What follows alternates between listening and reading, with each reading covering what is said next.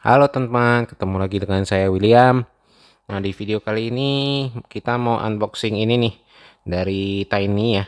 Ini Tiny produksi ya tetap made in China sih, tapi mereknya merek dari Hong Kong ya. Ini Isuzu mobil box ya, N series yang Tampo Advan. Ini kita lihat boxnya dulu ini dari depan ini udah ada kira-kira penampakan isinya ya ini ada logo merek Tiny. Kalau di sebelah kanan ini ada logo Tiny ya. Ini ada hologramnya. Kalau di kiri dia ada nomor nih nomor mobilnya ya kayak Tomica gitu ya kayaknya ya. Jadi Tomica kan setiap mobil kan ada nomornya tuh. Jadi ini juga ada ini nomor 38 ya. Kalau dari atas nih nomornya gede banget Terus kalau di belakang ini ada sosmed-sosmednya si Tiny ya. Ini ada YouTube-nya. Ini ini apa sih? Ini Facebook, ini Instagram ya. Ini produk ID-nya deh. Kalau di bawah ini ada keterangannya, ada warning. Ini dari Toy Is nih, 14 ke atas, 14 plus ya. Jadi ini juga sekali lagi bukan mainan anak-anak tapi kok di sini ada ditulis ya remove all package before giving this toy to children. Berarti boleh dikasih ke anak-anak dong. Tapi kok ini 14 plus? Ya mungkin cuman patokannya ini kali ya nggak boleh di bawah 3 tahun. Ya itu deh. Langsung kita buka aja yuk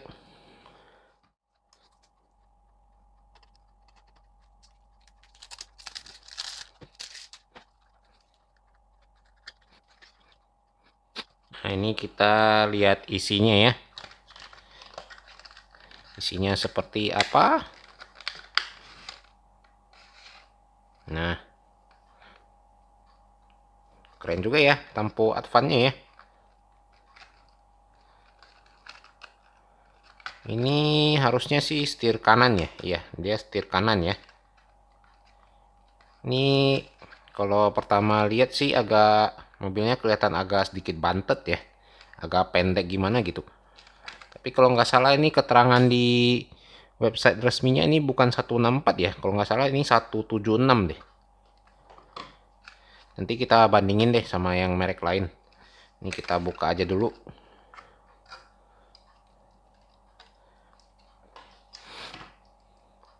Nah ini lumayan cakep ya ini plastik nih belakangnya plastik. Ini atasnya juga plastik ya. Ini sayangnya base nya juga plastik ya. Tapi ini udah ban karet sih. Oke kita lihat detailnya aja. Ini dari depan ya. Ini ini detailing lampunya. Dia pakai mika ya. Pakai mika tapi fog lampnya ini dia cuman dicat warna silver ini bempernya beda warna ya warna merah bodinya hitam. Nah ini ada tampo advan yokohama nya ya sama kayak di atas nih. Ini spionnya spionnya plastik ya. Ini spionnya plastik nih. Spionnya plastik terus ini atasnya atasnya juga plastik ya. Ini bodinya bodinya harusnya besi sih. Cuman ini atasnya dia plastik nih nah ini dari sisi kiri dia ada tampo advan lagi. Ini apa sih nih? Lampu kali ya? Ini ada detailing lampu juga. Lampu sign ya. Ini apa sih? Mungkin lampu juga ya. Ini ada detailing handle pintu juga. Nah ini yang belakang nih udah corak advan banget ya. Tapi ini kok berasa kayak cuman di stiker ya ya kan kelihatan garisnya tuh agak kurang rapi sih. Dia kayak di di stiker gitu terus dicat lagi. Agak kurang rapi sih ya. Jadi kelihatan batasnya nih.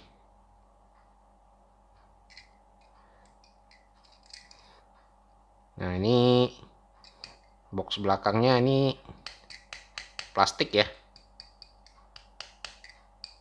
Ini bawahnya besi ya atasnya doang ya plastik ya. Ini besi nih pinggirnya nih. Soalnya teksturnya agak beda. Nah ini kita lihat di belakang ini ini ada detailing apa sih kayak cantolan kunci pintu itu ya. Bisa mobil box kan ada tuh atas bawah yang engselnya buat kunci pintunya. Terus ini ini ada nggak nggak terlalu detail ya lampunya ya. Ini ini kayak lampu mundur ini merah. Ngikut warna ini sih ngikut warna boxnya. Terus ini agak sedikit orange ya. Mungkin lampu sign kali ini. Ya agak sedikit beda warna nggak terlalu kelihatan sih ini ada detailing plat nomor juga ya sama kayak depan tadi ya. Ada detailing plat nomor cuman dia udah baru saya perhatiin ini nggak ada apa nggak ada merek mobilnya lagi ya. Nah ini ada tulisan Advan. Nah ini menariknya dia ininya bisa diturunin nih.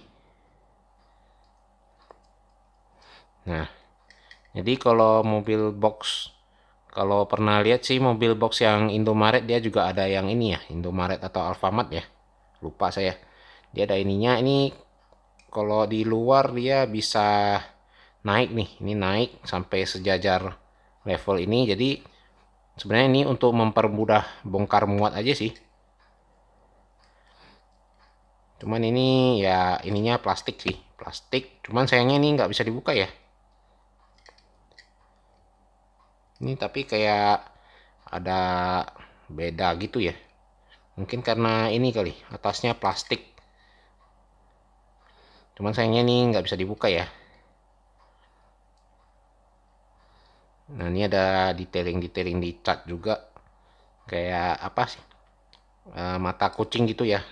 Headset gitu. Biar nggak ketabrak. Ya cuman sayang sayang aja sih ini finishing ini tampo advannya menurut saya kurang mulus ya. Jadi terlihat batasnya gitu. Ya itu deh. Ini juga base nya juga plastik ya. Tapi dia rivetnya cuman pakai baut ya tapi sampai tiga loh ini depan ini tengah ini mungkin untuk boxnya ya. Sampai tiga loh ini bautnya. Ya paling itu aja deh. Ini detailing apa ya nih ya? Baru perhatiin saya.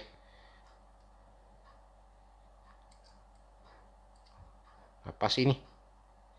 Ke warna hitam sendiri gitu ya? Mungkin ventilasi atau apa ya? Kurang tahu juga saya. Ya paling itu aja deh untuk video kali ini. Oh ya lupa kita buat perbandingan ya. Coba kita ngambil yang merek lain dulu. Nah ini udah saya keluarin beberapa merek lain ya untuk perbandingan ya.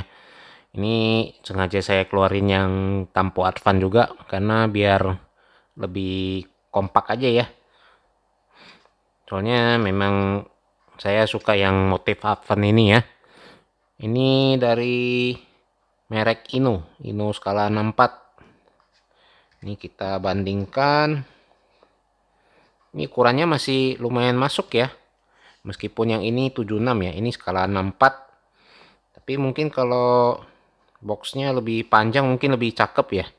Sama kalau lebarnya sih lebarnya masih ya bisa terbilang kecil sih soalnya kan ya memang bukan skala 64 ya. Kalau mau lebih panjang lebih lebar lagi ya memang bukan skala 76 mungkin.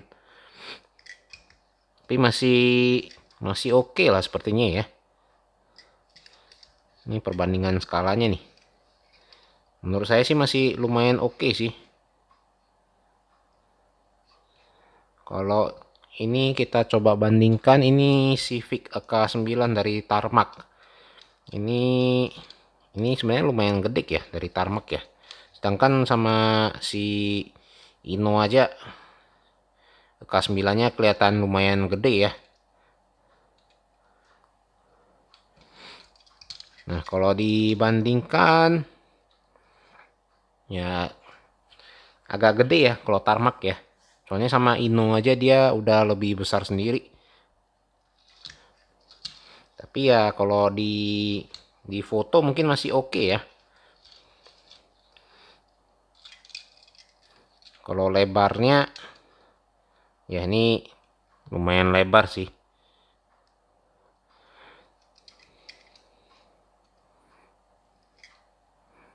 ya cakep juga ya cuman ya inilah sayang dia bukan beneran skala 64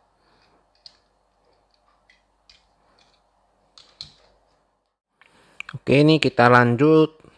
Jadi ada sedikit kendala di memori ya. Ini kita lanjut buat perbandingan. Ini dari mini GT ya. Ini Supra GR Advance ini dari size nya Supranya lumayan gede ya.